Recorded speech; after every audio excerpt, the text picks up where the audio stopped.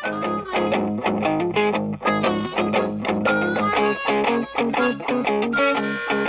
you.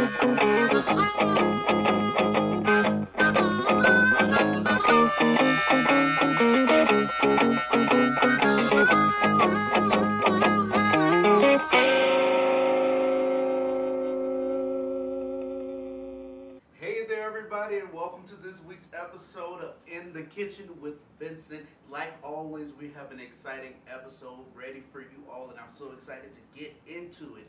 So, y'all, this week we took a trip to Dexter, Michigan, to one of my favorite places here in the state.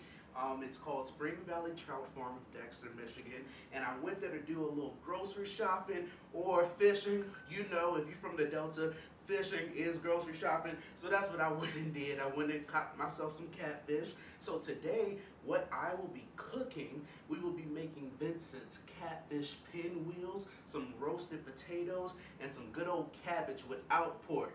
Yes, I'm looking out for my non-pork eaters today. So y'all sit back, relax, and welcome to yet another episode of In the Kitchen with Vincent. How, oh, are we shooting? I don't know. okay. All right, let's let's do it. Let's do it. Alrighty, y'all. So what we're going to do first, we're going to make our filling for our catfish pinwheel. So it's pretty simple. So I started off with some onions, some bell peppers, and some spinach. I chopped them up, minced those vegetables down, and I sauteed them in just two tablespoons of butter. First, I started off with my onions and bell peppers, just making sure that they are cooked down and translucent. And once they are translucent, which is around two to three minutes of cooking, I tossed in my spinach just to cook it down. And that normally takes about three to four minutes. And you just want to make sure it's cooked down enough to be added into your mix. And we ended up with something like this and it almost looks like it's ready to eat like you could really eat it from this point but we're not going to we're going to use it for our mix so to make this mix you're going to take one stick of Philadelphia cream cheese. I use Philadelphia because I think it tastes oh so amazing. So I'm just going to open that up. Just one whole stick you're going to use and toss into a large mixing bowl. Now I've been allowing this to sit out and um, get up to um, room temperature so it's not so hard to work with, but it's rather malleable. It's just soft enough to be able to push down into. So right into that, I'm going to add in my sauteed vegetables, which are still hot and steamy. And then I'm just going to begin to give that a mix until they are actually evenly distributed.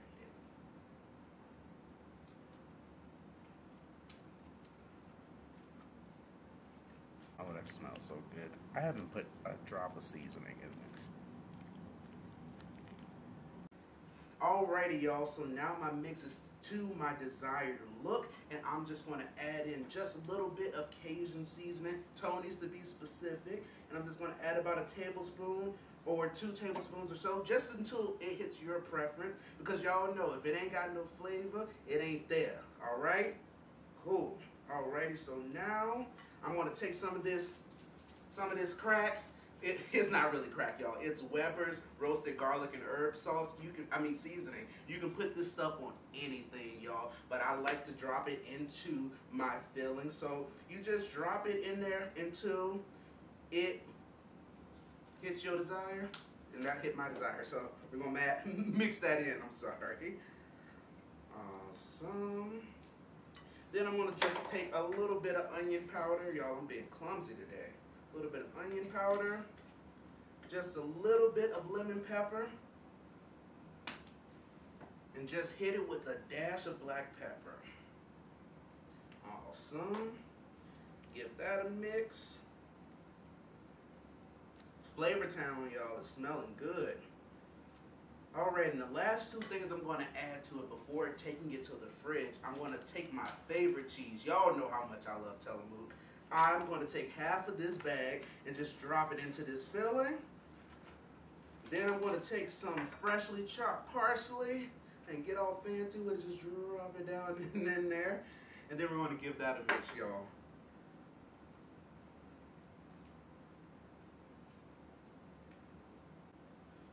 Alrighty, y'all. So it's looking like we've hit our desired look. And from this point, since it's very soupy, I'm going to just hit it with some cling wrap, cover it, and refrigerate it. I'm going to refrigerate it for about 30 minutes or so while I get my sides ready and going. But you want to make sure that this is still spreadable, but you need it to be cold enough that you can actually work with it with your catfish fillets, which you'll see me do later. But just put it in the fridge, please have the patience to let it cool and um, let it sit there for at least 30 to 45 minutes. And once we are ready with our cream cheese filling, I'll let you see what that looks like. Thank you, Jesus. You almost ready? I am ready when you are Awesome. and, and rolling. Alrighty, y'all. So let's get our cabbage started. So I'm just going to get my pot set on medium-high heat. Um, and I'm going to put in two tablespoons of butter. I already got it pre-measured out. Just drop it in. No need to get cute. Just make sure that that evenly hits across the bottom of my pot. It doesn't take long for butter to melt, y'all. And while that butter is melting, I'm just going to go ahead and add in about a half a cup. This is just one whole onion diced down. Well, not diced down. I cut it into the long spiral pieces. So just diced down that way. I'm just going to toss that in. Just make sure I coat my onions with that butter well as that butter melt down. And we're going to cook these onions until they're translucent. And once they're translucent, we're going to toss in our chicken stock to get it going before we get our cabbage going. But I'm just going to um, make sure that those onions are cooked down, and we'll let you see what that's looking like.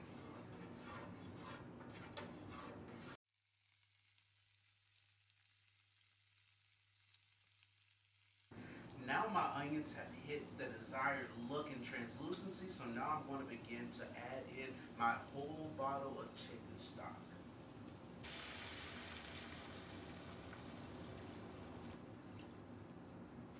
And we're just going to allow that chicken stock to get up in temperature and begin to simmer. And once it simmers, we'll be back so we can add the cabbage in and begin seasoning. Mm. Yes, he does. Alrighty, good people. So now our water, well, actually our chicken stock is boiling and it's come up to a nice simmer. So let me just talk you through the spices and the seasonings that we're going to put into this boil. I have one tablespoon of sugar, one tablespoon and a half of chicken bouillon. I have one half of a um, tablespoon of Himalayan pink salt, and I also have half a tablespoon of minced garlic, and I also added a dash of pepper, and that's really just to your own preference. And I'm just going to toss that into this boiling water. Awesome. Give that a good little mix with our spoon. Oh wow, y'all, that smells good. That chicken stock and the onion smell great alone, but now with that seasoning, it's really giving it what it's supposed to supposed to have gave. All right, awesome. And I'm just going to go ahead and take my cabbage from there, and you just, for me, I like to keep my hands in the game, both hands in the game. So I'm going to use one hand to toss the cabbage off in, and one hand to just catch any cabbage that we want to come off out of the pot. So this is my little action here. And I diced these cabbage down to about one inch. They're like this, but you don't have to really break that apart. What you can really do is once it cooks down, it's going to break apart. So don't worry about it, just as long as you make sure you cut it pretty thin. And don't worry, I'm not getting my hand in the chicken stock. I'm not going to boil, boil myself or anything. But now that I have all my cabbage in there, I'm going to put the top on it, and we're going to let that begin to simmer and cook down. And once that is ready, we'll let you see what it's looking like. But let's get started on our potatoes.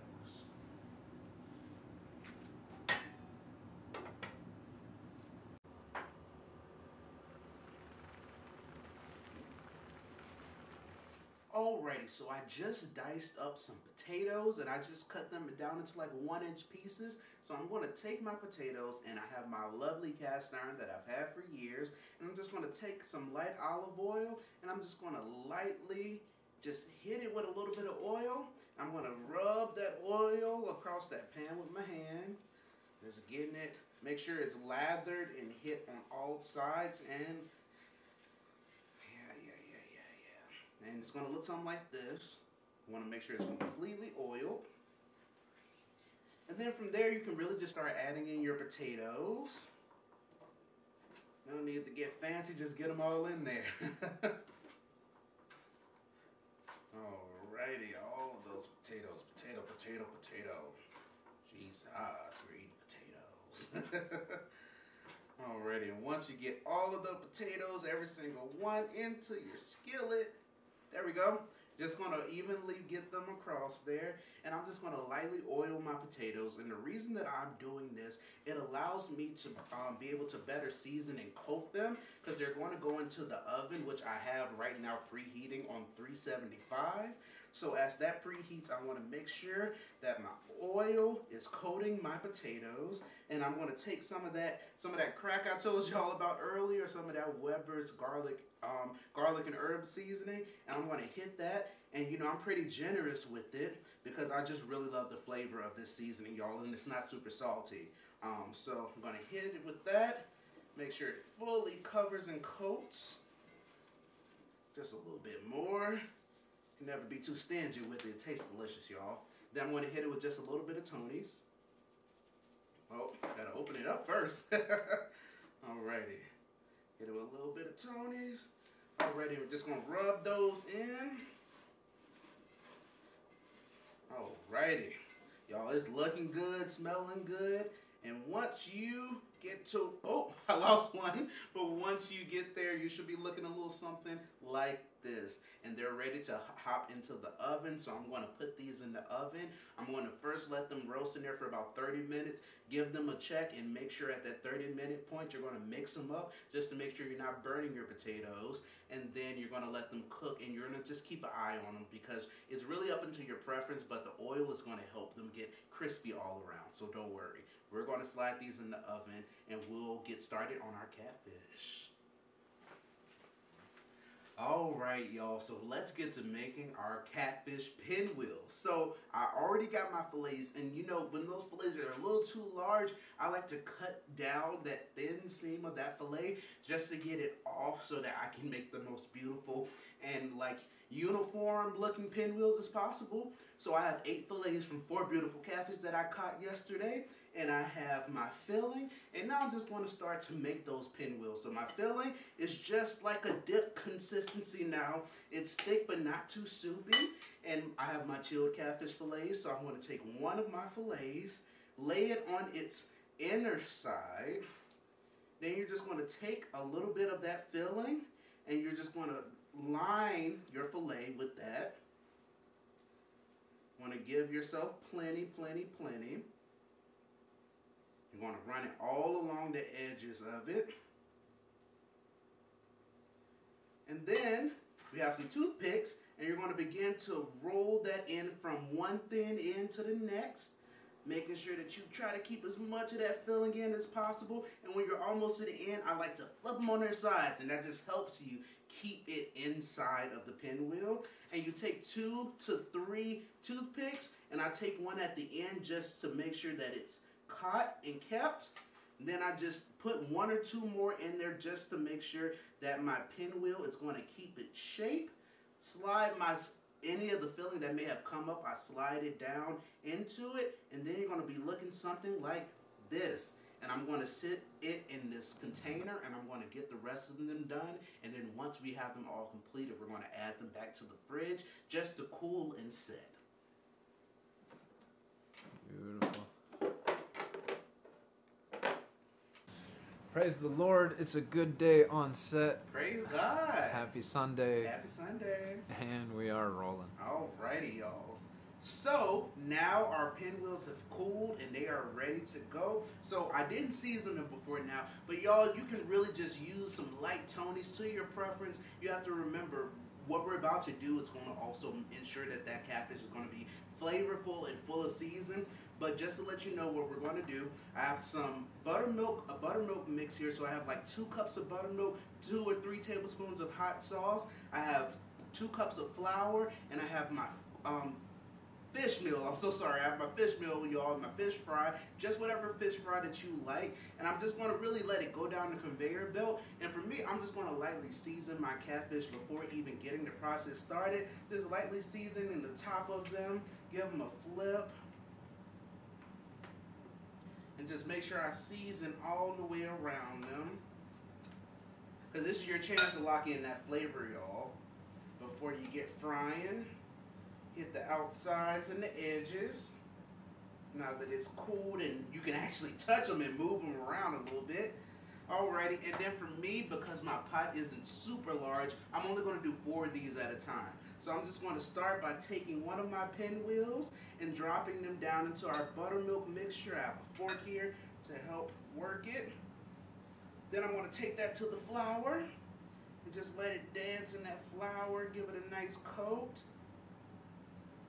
And awesome. Make sure you fully cover it with that flour. And you're going to submerge it one more time in your buttermilk.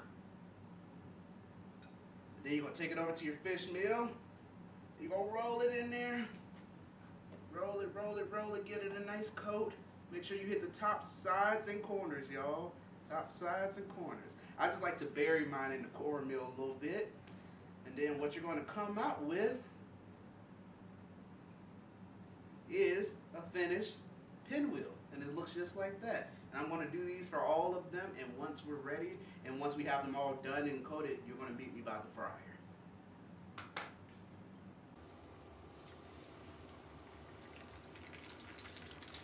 My pinwheels are going, and y'all, just a note, you want to make sure that you have faith in the product that you just made, all right? So while they're in the fryer, they're going to um, they're going to maybe start releasing some of those pieces of spinach, but as long as you see your individual pinwheel, please take your time and let it solidify and harden and get that crust, because if not, when you do move it in the casing, the outside casing soft, everything spills out. So you just have to have faith that it will be there. And once it starts to float or you start to see your pinwheels come off the bottom, then you can start playing with them and kind of seeing where they are. But remember, take your time and it will be cooked. Just watch it, pay attention to it, and you know if it fries and it floats, it's ready to go. So y'all just patience. Patience, paciencia y fe, okay? Look at those dang potatoes. Potatoes. Potatoes. Darn potatoes. That's why I love cast irons. Why is that? They, they, the way that they crisp things and the way that they hold heat is almost like it's stovetop. You know what I mean? Cast irons allow you to get that heat and cook like it's on the stovetop, and it's just, I don't know. It makes those potatoes have this crisp crunch when you roast them that you can't get on the baking sheet. So that's what it is. Yeah. Love it.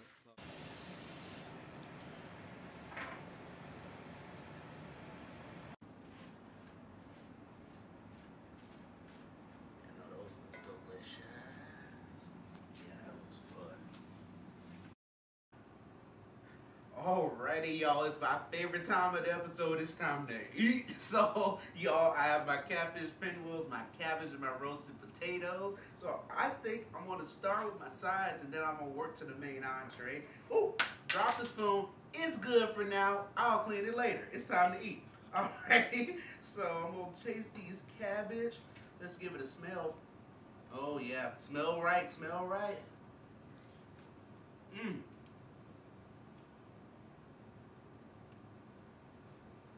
Tastes like Grandma Picoyas. And I'm not even stretching. This tastes like my dad's grandmother's cabbage, minus the pork. So for my non-pork eaters, this is the recipe for you. Give them a try. Alrighty? Roasted potatoes. Mmm. Okay, y'all. Who said you need to have French fries with fried fish? These fr- these roasted potatoes with the crunch and that garlic and herb Weber seasoning I told you is like crack is giving what it's supposed to give. All right, and my you hear that? Crispy, crispy. All right, so I'm gonna break into this um catfish pinwheel and give it a try as well. Oh, oh my goodness! Just look at all that juiciness coming out of there. Righty. Break into that catfish. Give it a try.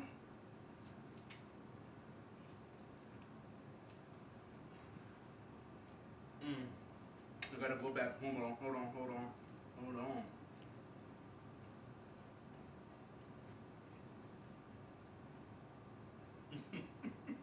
okay, y'all. This this has been one of my favorites, but every time I make these pinwheels, I'm it's an exciting, it's like a burst of flavor. First, catfish eaters. Mm, I'm sorry, y'all. All right, for us catfish eaters, it's fried catfish is something you eat all the time, but these catfish pinwheels gives you this explosion of flavor with the cream cheese and the taste of that cheddar, that Tillamook cheddar, just to be specific, and also the spinach and the sauteed onions and peppers. It is everything. And you know, I know that you wish you were sitting right here in my kitchen right now eating this. So go ahead, share it with your family, cook it, share this recipe with your family. It's the moment to do it, y'all. This food looks good. I'm having a great time. I'm about to feed my team, but I just wanted to personally take the time to thank you all for joining me this week for another episode of In the Kitchen with Vincent. I do not take your presence here lightly. I'm so blessed to have you, and I'll see you all next week. Thank